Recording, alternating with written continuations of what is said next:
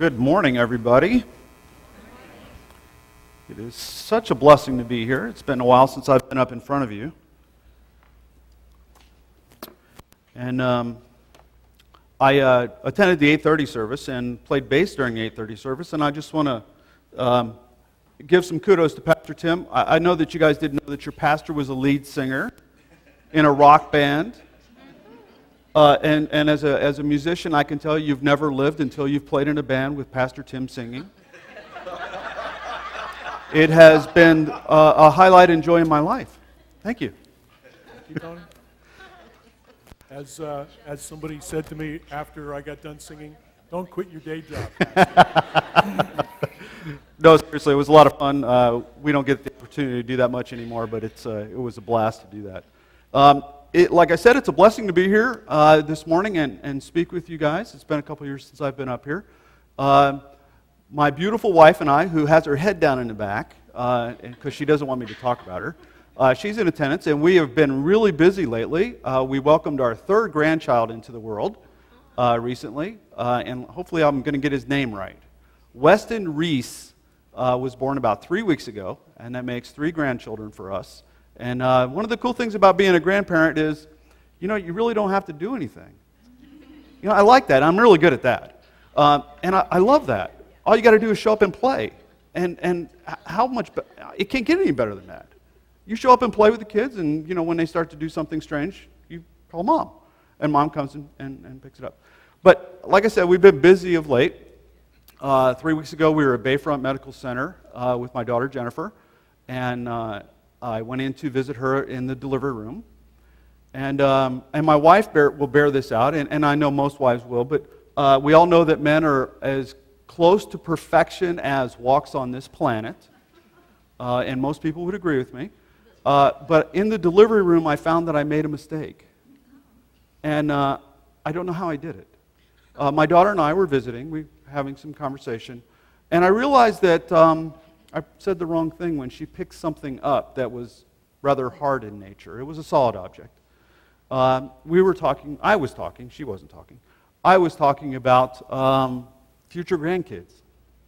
And I realized that the look that I got from her, that was something you don't talk about in the delivery room with the lady who's getting ready to deliver a baby. So, and I really didn't recognize I made the mistake. So I kept going. And I put my order in for next year. I want two granddaughters, and I already named them, and I even put in the order of how I want them to look, with their hair and eyes and stuff like that.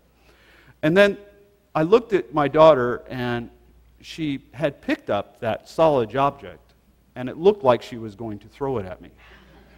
So I realized at that point I made a serious mistake that would probably end up in me being maimed. So I exited the delivery room as quick as I could, and you know, a couple hours later, Weston shows up and uh, it's been a blast so far. So uh, it's, it's a wonderful thing. It's great. Um, so before we get started, let's, uh, let's uh, have a word of prayer. Heavenly Father, please open our hearts and our minds to you during this hour of worship.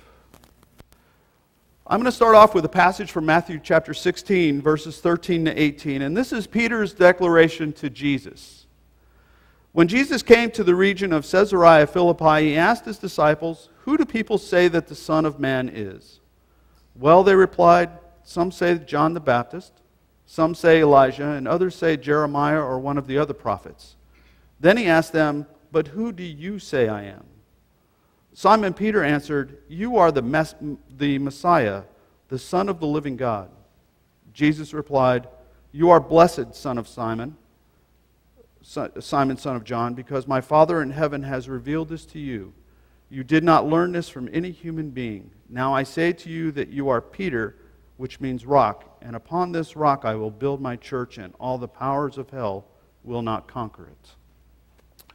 You know, in preparing for the sermon, I've realized that I've been hearing a lot of negative comments about the church.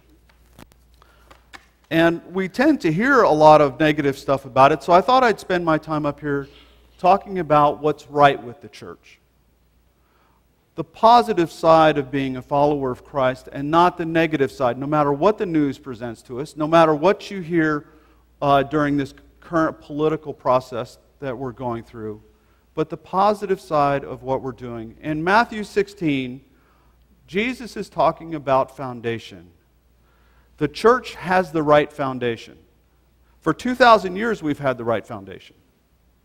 Everything has to have the foundation. You can't build a building without a foundation. You can't, uh, you can't enter into a relationship without a foundation. You can't drive a car without a foundation. You can't cook a meal without a foundation.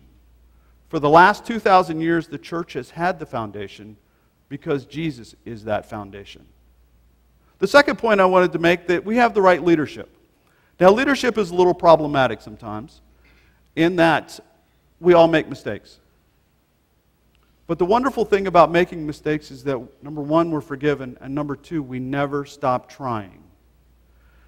To understand what the leadership of the church really is, all we have to do is look at Colossians chapter 1, where Paul is writing that Christ is also the head of the church, which is his body. The church has the right leadership. We also teach the right doctrine. Doctrine is simply what you talk about. And as long as we are using the Word of God as a basis for our teachings, we will always be correct. Now, there are some out there that have some falsehoods, and we have to be able to recognize that. But Isaiah tells us in 8, or chapter 8, verse 20, that as long as we follow God's instructions, we will never be left in the dark. He tells us clearly what to teach, how to teach it, and who to teach it to. The church has the right purpose.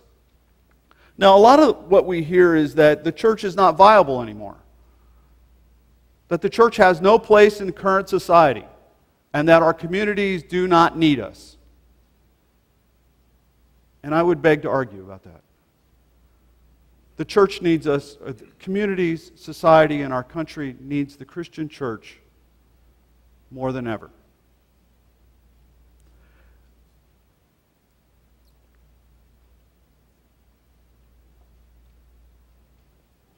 You know, there's a lot of purposes out there when we start to think about other organizations. We think about IBM, we can think about Apple, we can think about Google, we can think of all of these guys that have a purpose to what they do. And their purpose is to make money, make computers, sell coffee, whatever. But when it comes right down to it, the purpose of the church is Jesus Christ. Matthew tells us very clearly in Matthew uh, verse 28, or chapter 28, that we are to go out and make disciples of every nation. As long as we adhere to that, we will always, always have a purpose. The church is the right reward. And I absolutely love this one because I was thinking about this recently. No one does anything without a reward. I have a friend who used to tell me that nobody does nothing for nothing. And the school teacher in me, that sentence drives me crazy a little bit because uh, the structure is terrible. Uh, you know, we work 40 hours a week. Some of us work 50 hours a week. Some of us work 60 hours a week. But we always expect a reward at the end of that. We plant a garden because we expect to see vegetables, unless you're me and plant a garden and you expect to see it die, which it does pretty regularly. The difference between the church and IBM is that we know the end of the story. We know what's going to happen when the end of our days happens. And that as long as we continue to stay focused on Jesus throughout our life, Jesus is the reward. We know that as our life, eh, life ends, we will be there with him. Now, that's not to say that everything is fantastic with the church. There are a couple things that we can, we can do better. And I narrowed those down into really two areas. The first one is fellowship. Fellowship is a little bit lacking sometimes because I know you've heard this before, and I know that you know what fellowship is, but just as a review, Fellowship means to have in common, to share, to participate for a common cause. One of the things that we need to ask ourselves as Christians are, is what are we doing together other than coming to church on Sunday? Are we feeding the homeless? Are we helping people? Are we doing things that further Christ's mission here on earth? And if we're not, we need to act accordingly. There's so many people in this church that have such great talents. All we have to do is step forward. All we have to do is make it happen. Part of being in fellowship with one another is that making sure that we are going in the same direction and we're flying in, in formation. Now, the seasons are changing, of course, all except here in Florida. I don't think the seasons ever change here except for that one day in February that you have to wear a sweater. Every other day is, you know, it's like warm and you're sweating. Um, but up north, it's starting to change. Pastor Frank probably experienced some of the colder weather up there. Um, when I lived up north, I always used to love when it changed because I would be able to look up and I would be able to see geese flying overhead. And I was always fascinated by the geese. I always fascinated by how could they stay in such a V formation. And I was just amazed until I started to read a little a bit about it, and I realized that they stay in that formation because it makes it easier to fly. You see, the geese in the front are flapping their wings, providing lift for the geese in the back. Now, this particular church has been on this property for 50 years. There have been a lot of people that have been in front of us, flapping their wings and giving us thrust and giving us lift. We need to capitalize on that and continue to move forward, being a presence in this community. The last one I wanted to talk about was sharing the workload. Picture the geese, which are my favorite animals, by the way. Picture the geese again. They don't have the 80 20 rule. I think everybody knows what the 80 20 rule 80% of the work is done by 20% of the people. That makes it difficult. I can't imagine the geese having that kind of rule because then the geese are starting to float all off, and I've never seen that happen. By, having, by sharing the workload, it makes it easier to get things done. The work of the church is important. It's building the kingdom of God. 1 Corinthians chapter 12 reminds us that we are one body with many parts. Everyone has a part to play.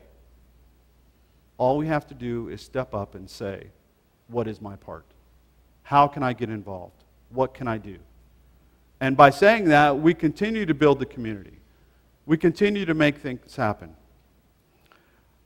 As Christians, we should walk out and hold our heads high if we add in some fellowship to the foundation and leadership and purpose and reward, we will have people flocking to us. Because people want to be involved with successful organizations. The church is successful. We've been around for 2,000 years. So when you start to hear things that are negative, lift your head higher and say, that's not true. We are Christ's body on earth, and we will continue to work as hard as we can to make that happen. Let's pray. Heavenly Father, empower us with a positive spirit as we leave your house today, knowing that you will be with us in everything that we do and say, if we only allow it. Help us, Father, to know that we can make a difference in our community and world just by showing the light of your love to everyone that we come into contact with. In your holy name, amen.